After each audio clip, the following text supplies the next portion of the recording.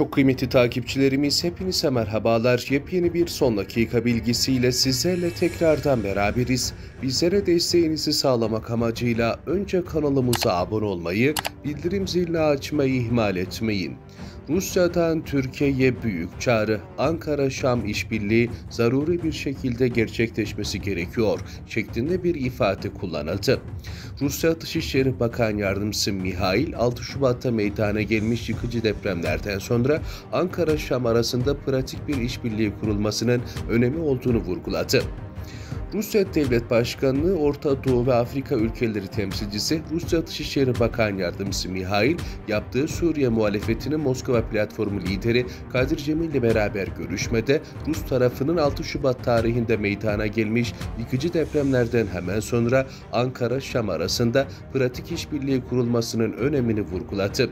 Mihail, Suriye'deki insani duruma özel bir dikkatle gösterdi. Rusya tarafı her iki komşu ülkeyi de vuran 6 Şubat tarihinde tarihindeki depremden sonra Şam ve Ankara arasında pratik işbirliği kurulmasının gerekliliğini vurguladı ifadesi kullanılmıştır. Değerli takipçilerimiz bildiğiniz gibi Rusya devleti ile anavatan Türkiye arasında en başından bu yana büyük bir müttefiklik bulunuyor.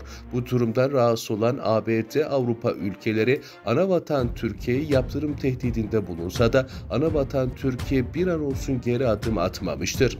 Bu durumda rahatsız olan NATO üyeleri ve Avrupa Birliği üyeleri Türkiye'ye karşı dikkat çeken uyarı yapsa da Türkiye Cumhurbaşkanımız Sayın Recep Tayyip Erdoğan hem Ukrayna devletinin hem de Rusya devletinin Türkiye için dostu olduğunu bunun değişmeyeceğini, Türkiye'nin ortada bir yerde dostlukların devam ettireceğine dair çok güzel bir şekilde cevap vermişti.